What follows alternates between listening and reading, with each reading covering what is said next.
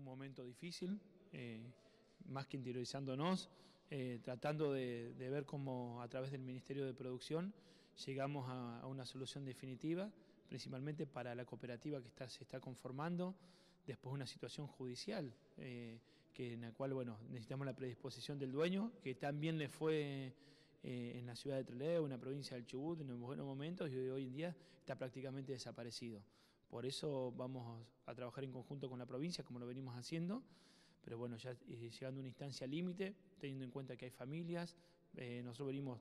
eh, trabajando con subsidios, con ayuda, pero eso no, no es la solución de fondo y hay que tratar de buscarle una cuestión definitiva. Sabemos que el ministro de la Producción está en contacto con el dueño, ver cómo avanzan ahora las, las negociaciones y ver cómo se pueden hacer del predio, principalmente cuando el dueño no se hace cargo de ninguna indemnización, hay una desaparición completa por parte de la empresa. Realmente es vergonzoso lo que han hecho como, como empresarios, teniendo en cuenta todo lo que le ha dado la Patagonia principalmente la ciudad de Trelew. Estamos en una situación casi desesperante.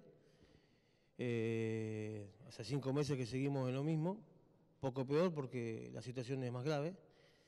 Y bueno, eh, Adrián se lo invitó y siempre que, se lo invita tiene, tenemos la, tiene las puertas abiertas y él también no, nunca nos rechaza esa invitación, así que estamos muy agradecidos que él venga. Y bueno, estamos ya a punto de querer poner un límite a esto y, y a ver, decidir rápido